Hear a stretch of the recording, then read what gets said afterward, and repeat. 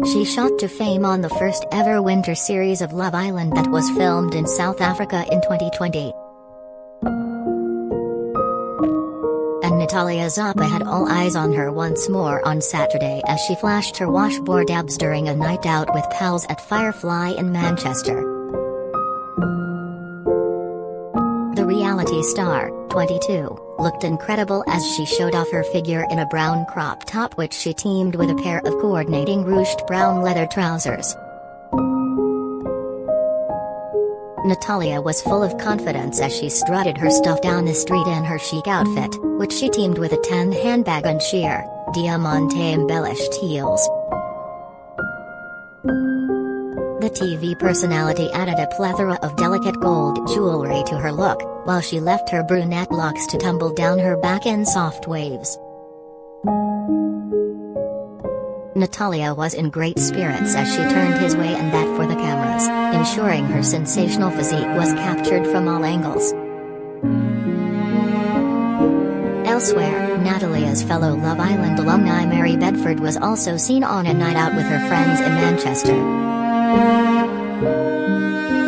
The blonde beauty flashed her pins in a patterned orange mini dress as she waited outside China White nightclub with her pals. Mary finished her racy look with knee-high black boots and stored her essentials in a black D Dior saddlebag. In March last year, Natalia made headlines after it was claimed Jack Grealish had slid into her DMs.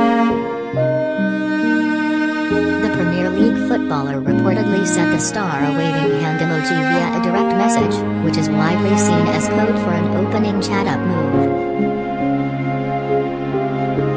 It was Natalia's boyfriend Haas who outed Grealish, as he showed off the DM while calling out the midfielder in a hilarious TikTok video.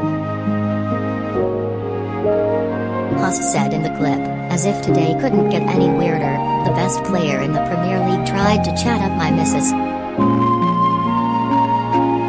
He then paid reference to Natalia's page on adult subscription site OnlyFans and joked, send him the OnlyFans link, he'll be a good tipper. Natalia, who was sat with her back to the camera in the video, wasn't so keen on the idea and replied, I'm not going to send him the OnlyFans link. Source told The Sun at the time, it was all a bit of a laugh for Natalia and her boyfriend, neither of them took it seriously. Haas is not surprised Jack would be attracted to her because she's gorgeous and he's proud of her. He wasn't having a go at Jack, he thought it was a good opportunity for her to draw attention to her social media and OnlyFans because she thrives on having as many followers as possible. Grealish has since gone on to be linked with Emily Atack and Amber Gill, despite being in a relationship with childhood sweetheart Sasha Atwood.